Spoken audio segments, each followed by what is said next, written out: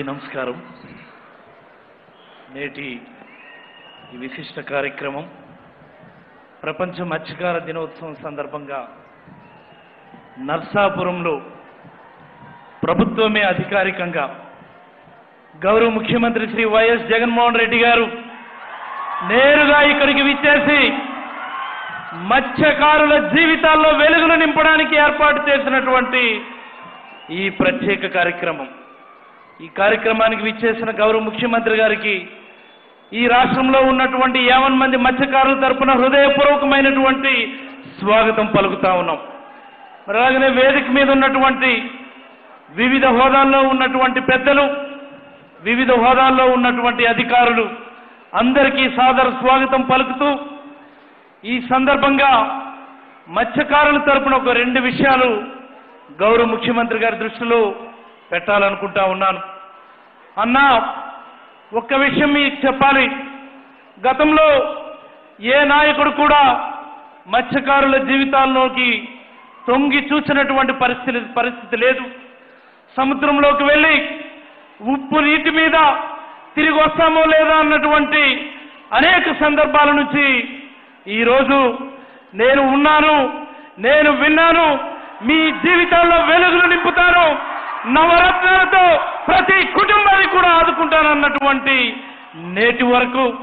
మరి అలాగనే ముఖ్యమంత్రి హోదాలో ఉండి మత్స్యకారుల తొక్క తీస్తాం మత్స్యకారుల తోలు తీస్తాం ఫినిష్ చేస్తాం అన్నటువంటి రోజు నుంచి ఈ రోజు హక్కును చేర్చుకొని ప్రతి సందర్భంలో కూడా ప్రతి అంశంలో కూడా మత్స్యకారులను ముందు పెట్టి ఈరోజు అధికారికంగానే మత్స్యకార దినోత్సవం నిర్వహిస్తున్నటువంటి ఈ ముఖ్యమంత్రి వరకు ఒక్క మాటలో చెప్పాలి అంటే చెప్పిన ప్రతి హామీని కూడా పదివేల రూపాయల కింద ఇస్తున్నటువంటి మత్స్యకార భరోసా కావచ్చు. మరి అలాగనే ప్రతి లీటర్ పైన తొమ్మిది రూపాయలు తొమ్మిది రూపాయలు డీజిల్ సబ్సిడీ కింద ఇస్తున్నటువంటి ప్రత్యేకమైనటువంటి పథకం కావచ్చు. దురదృష్టవశాత్తు ఎవరైనా మరణిస్తే పది లక్షల రూపాయలు ఎక్స్గ్రేషన్ ఇస్తున్నటువంటి మీ గొప్ప మనసు కావచ్చు. మరి అలాగే ఈరోజు ప్రతి జిల్లాలో కూడా ఏ మత్స్యకారుడు కూడా వలసలు వెళ్ళకూడదు. ఏ మత్స్యకారుడు కూడా ఈ రాష్ట్రంలో హార్బర్లు లేవు జట్టీలు లేవని ఇతర రాష్ట్రాలకు పోకూడదని ప్రతి జిల్లాలో కూడా హార్బర్లు మంజూరు చేసి ఇప్పటికే నెల్లూరు జిల్లా జువ్వల దినలో నిర్మాణం ప్రారంభమైంది. బాపట్ల జిల్లా నిజాంపట్నం వద్ద హార్బర్ నిర్మాణం ప్రారంభమైంది. కృష్ణా జిల్లా మచిలీపట్నం వద్ద హార్బర్ నిర్మాణం ప్రారంభమైంది. కాకినాడ జిల్లా ఉప్పాడ వద్ద నిర్మాణం ప్రారంభమైంది. దానిలో భాగంగానే ఈరోజు పశ్చిమ గోదావరి జిల్లా బియ్యపు తిప్పు వద్ద హార్బర్ నిర్మాణం. ఈ హార్బర్ నిర్మాణం గురించి ఇక్కడ మత్స్యకారులకు ఒక విషయం చెప్పాలి. ఏ రోజైతే మేము బియ్యపు తిప్ప హార్బర్ నిర్మాణం కోసం కేంద్ర ప్రభుత్వానికి ప్రతిపాదనలు పంపించినప్పుడు కేంద్ర ప్రభుత్వం నిర్ద్వంద్వంగా బియ్యపు తిప్పు వద్ద హార్బర్ నిర్మాణం సాధ్యపడదు. దానికి మేము గ్రాంట్ ఇవ్వలేమని చెప్పినప్పుడు గౌరవ ముఖ్యమంత్రి గారు ఒక్క మాట చెప్పారు. పశ్చిమ గోదావరిలో మనం హార్బర్ నిర్మాణం చేస్తామని మాట ఇచ్చాం. బియ్యపు తిప్పు వద్ద ఖచ్చితంగా హార్బర్ నిర్మాణం జరగవలసిందే. కేంద్ర ప్రభుత్వం సహకారం చేస్తే వాళ్ళ సహకారంతో మనం నిర్మాణం చేద్దాం.